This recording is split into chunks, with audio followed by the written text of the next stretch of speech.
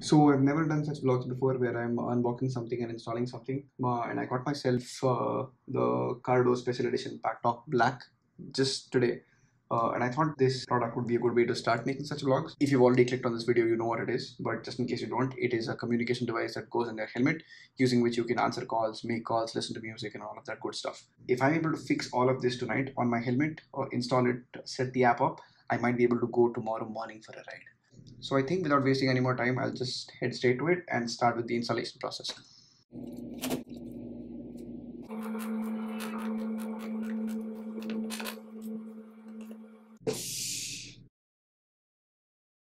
Alright, let's see what comes in this box. I've actually seen a lot of these unboxing videos for this specific device, uh, and I exactly know what comes in. But yeah, there you go. That is, think, the actual device. Uh, and the rest of the box should probably have the mic and the speakers and the velcros. Uh, that's the sticker that comes along with it. This is probably the manual in English and I think other languages. Don't know why they sent so much paper. They could have probably saved all of this. This is the warranty. Alright, this is also an installation guide. Let's see. Right, for now, let's keep all of this aside. I'm just gonna set that aside and see what all comes in this.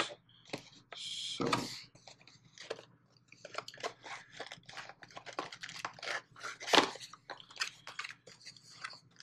Alright, I think these are the 45mm JBL speakers. I don't think Sena gets this. Uh, Sena is another like another brand that makes something similar. Uh, their sound system apparently isn't that great. Uh, whereas Cardo partnered with JBL, which is why you get these fancy speakers. And apparently they're probably one of the best that you could get. Uh, this black edition, the only difference between this one and there's another version, uh, this is the special edition that I got, but there's another version, I think it's called the Bold, and that one comes with the 40mm speakers, whereas this comes with the 45mm speakers. I don't know how much of a big deal that is, uh, but just these speakers cost you 80 bucks, whereas the difference between the Bold and this one isn't too much. So if you're making a decision about which one to get, consider this. Uh, apart from that, everything else is the same. Also, one more thing that is, I think on the Packtalk Bold you get a two-year warranty, whereas here you get a three-year warranty. Alright, so this is a normal USB cable that I get with it. These are the speakers. This is the other mic that I get with it. There ideally should be two mics. Uh, one is this, and the other one. Uh, let's see where that one is. I think all of this is this is the the, the sticky thing that goes on the helmet uh, and there should be another thing uh, this I think it has a clip-on sort of a thing that goes inside the helmet. So if you don't want to stick this on you can use this. Uh, these are the alcohol pads that you get. Uh, so you get just to clean the helmet before you install any of these on it. So this is all that you get. And I think this is the other mic if I am not wrong. Yep, that is the other mic that would go inside the helmet as well. I think this is also the same thing. These are also some more velcro that you get. This is, I think, the speaker. I mean, I'm pretty sure it's a speaker. And I think it also comes with a velcro on it. Yes, it does. I think I'll set all of this aside and start uh, ripping my helmet apart to start putting all of this on that. So this is the helmet I have. Uh, I have a Scorpion EXO R710 helmet, uh, which already has a GoPro mount on it. I'll probably be seeing if I can put that device. It should eventually go somewhere around here. I'll probably just start ripping off the helmet, uh, all the cushioning from inside, so it'll be easier for me to start working on this so this is the helmet that I'm going to install everything on uh, this is uh, a Scorpion EXO R710 helmet uh, it already has uh, uh, a GoPro mount on it that I installed when I got it uh, and this is the side on which I probably am going to mount my Packtalk Black. So just in case you have a Scorpion R710, this is what you'll probably have to do. Think these emergency things are pretty easy to get out. I have taken those out before. Uh, they just come off. There should be two pins inside. You can just pull them off and they come out pretty easily. I think it should be the same thing that you would potentially have to do on this side as well. Alright, there you go. Uh, so these two are out. So if you see, I don't know how much is visible, but let me actually get my phone to see, to rather show that there is a slot in here.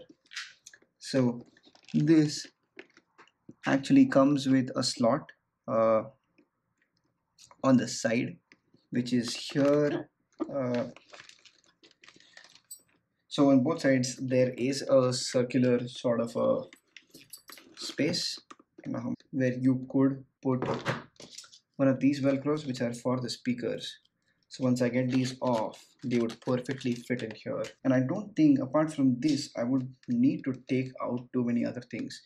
Just this like taking out these two cushions should be enough. So just in case you don't want to watch any youtube video and install all of uh, all of this uh, there are two things if you want to go just by the manual.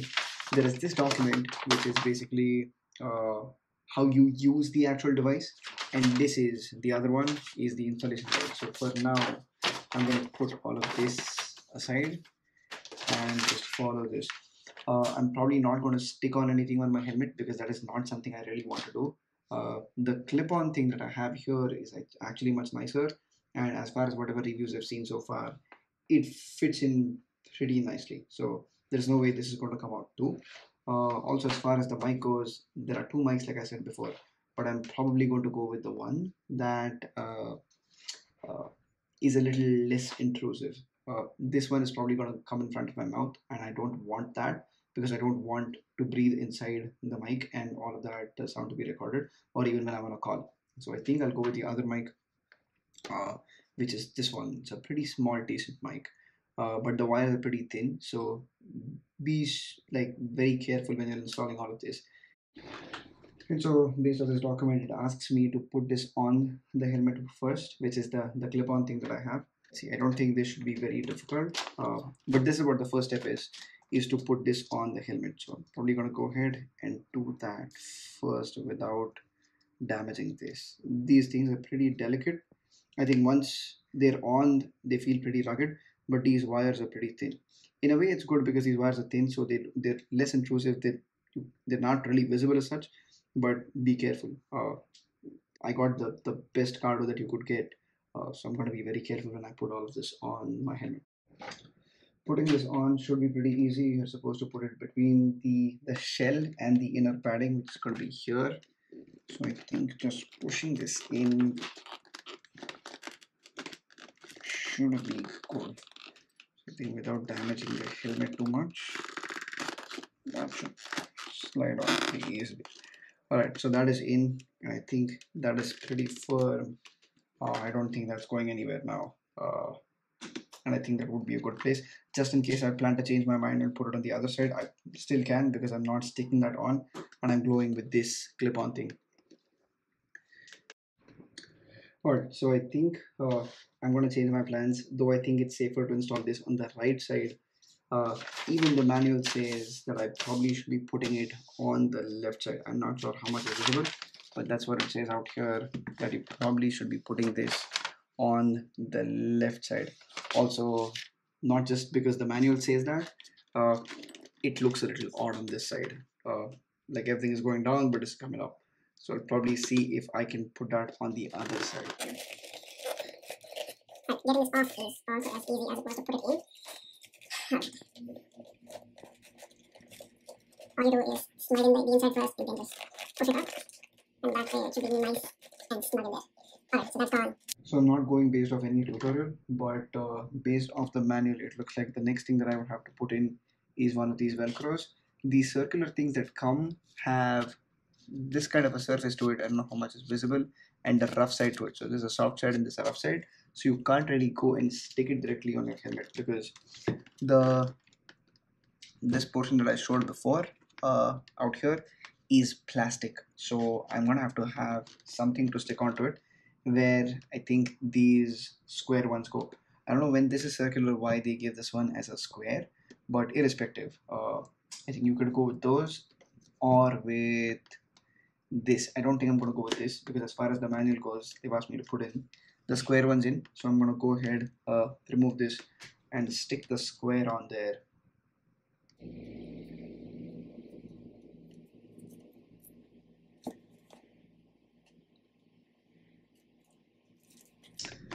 Right so this is on there. Now it's going to be pretty simple to put these on Ouch. just fine. Oh, yep they go right on there. So I could potentially see I think this is an additional pad. Uh, I could directly uh, put these speakers on there as well. Uh, if you see this has sort of a rough surface to it. And if I put these on directly I think that should be fine too. And they stick on pretty well. Uh, now my only problem is I just the helmet is already a little tight for me. I just hope adding this would not make it a little too tight. Uh, the other thing is uh, these uh, speakers I thought would directly fit in properly in those circular uh, slots but it doesn't really look at uh, like it now. Uh, after I've put the, these on they are not really going to go in snug there. Uh, they are going to protrude a little bit. So uh, but anyway I'm probably going to go ahead with this for now and uh, see what it looks like later. I think this is the left side and this is the right side. In any case let me just go ahead and put this velcro on this side as well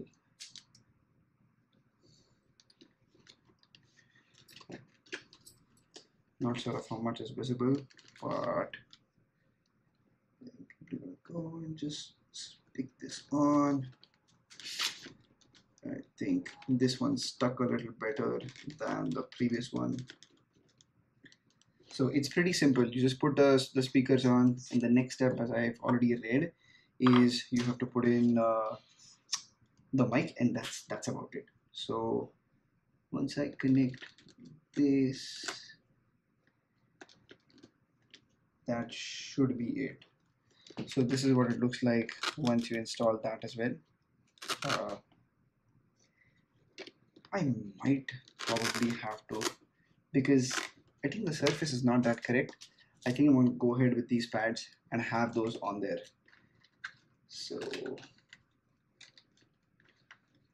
alright so I have those pads there.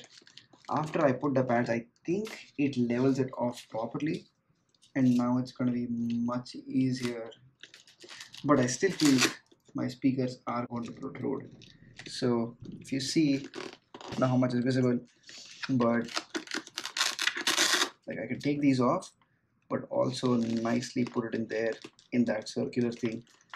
Uh, it's not really visible now that there was a square velcro behind it. Uh, as it fits in nicely not really nicely it does protrude a little bit uh, but I think the speakers will fit properly on it now but the other one, yeah, the other one goes on this side Alright. Just gonna try and put it as nicely as possible because these are not going to come out now. Once I put these on, I don't think I'm ever going to get it out. Alright, so there is where the speakers go.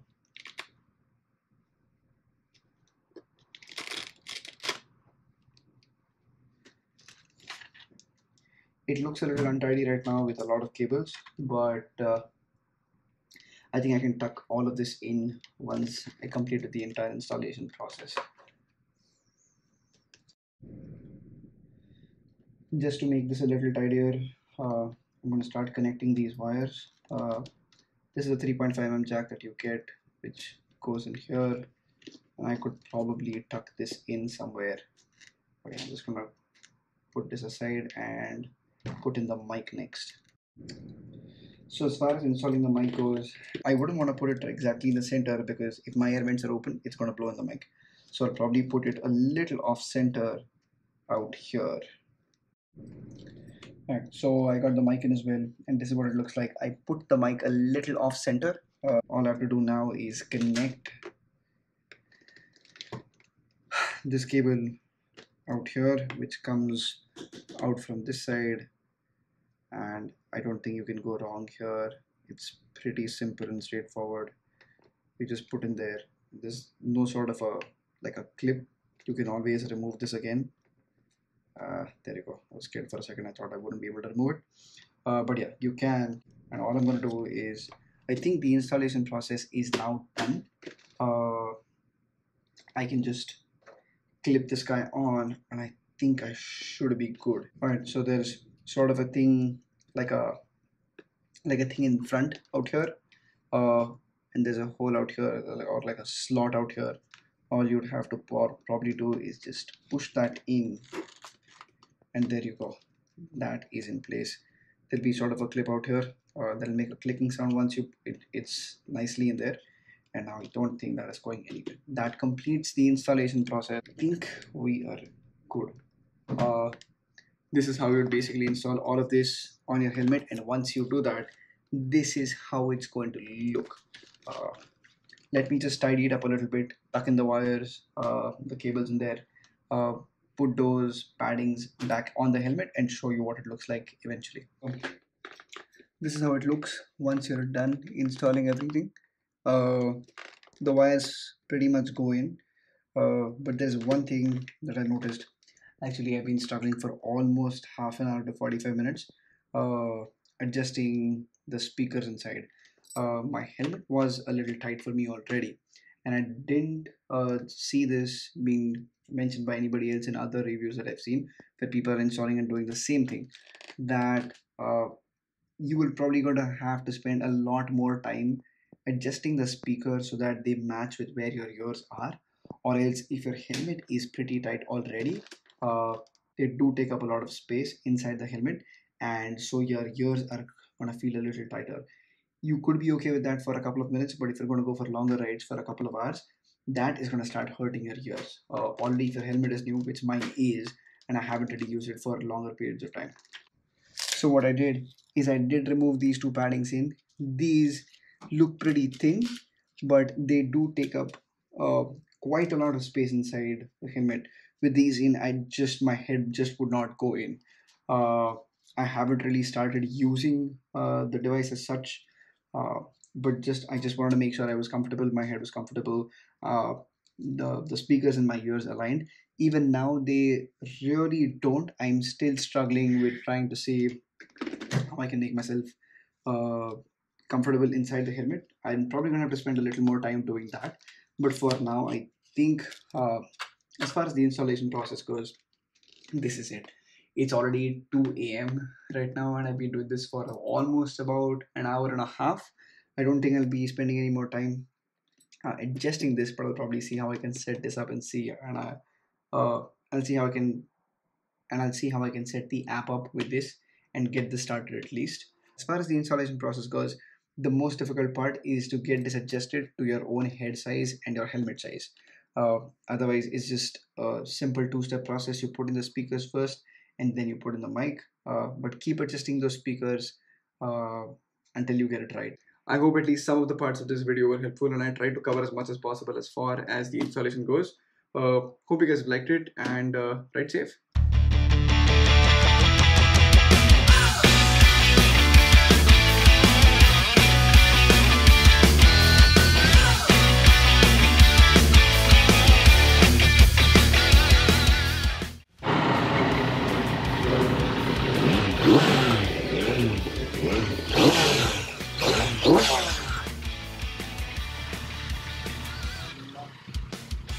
I did install the system last night. Uh, I know it was late, about at 3 o'clock or so.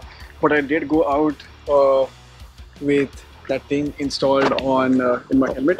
It's a little uncomfortable at first. It makes the helmet a little tighter than uh, what usually is. Uh, but once you're used to that, nothing like it. You can listen to music, take calls. Uh, one feature I haven't used yet is the intercom, using which it uses mesh technology, and using that you can talk to somebody else who has a similar system, which the guy who I met today has. Uh, his name is Jose. So looking forward to going with a, for a ride with him tomorrow morning and using that system. Really looking forward to it tomorrow. I know what it is. What it is? It What is is that. It is that. Uh, that thing. That 130. No. You check. It might break. Made of glass. Hmm, I'm giving you a hint. Be careful.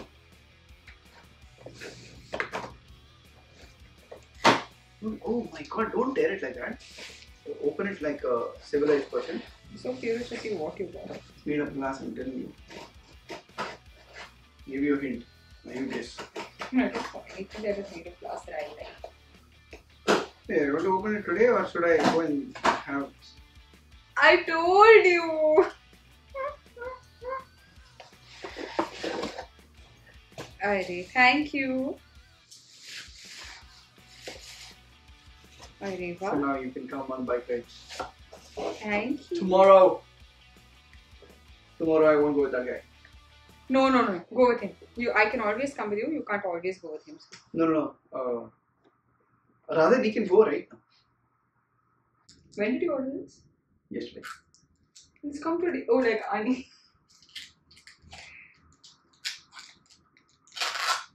Damn cool, man. Now what to do?